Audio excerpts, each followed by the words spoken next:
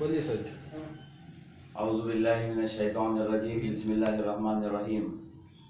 آل India مجلس اتحاد المسلمین کی جانب سے ہمارے مدھیہ کے آمدار جناب ایم ایل اے امتیاز علی صاحب مجلس کے سینئر قائد جناب ڈاکٹر غفار قادری صاحب کی قیادت میں کل بروز سنیچر بتاریخ بارہ جنوری دو ہزار انیس کو حالات حاضرہ پر ایک جلسہ رکھا گیا ہے۔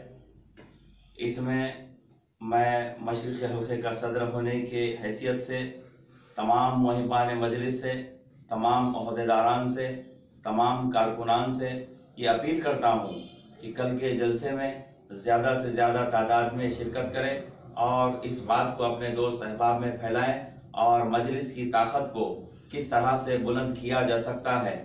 کس طرح سے ہمارے اتحاد کو برپا کیا جا سکتا ہے، اس بات کی کوشش کریں اور کل کے جلسے کو کامیاب کرنے کی کوشش کریں۔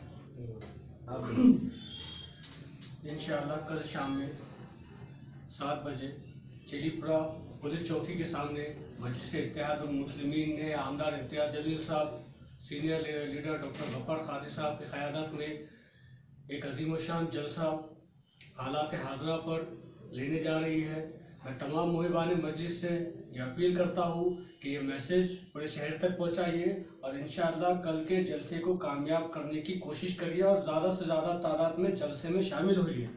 یہ جلسہ آمدہ امتیاز جلیل صاحب کی قیادت میں ہونے جا رہا ہے۔ مجیب الرحمان صاحب بھی اس جلسے میں تشریف لائیں گے۔ آپ سب سے انشاءاللہ کل روبرو ملاقات ہوگی۔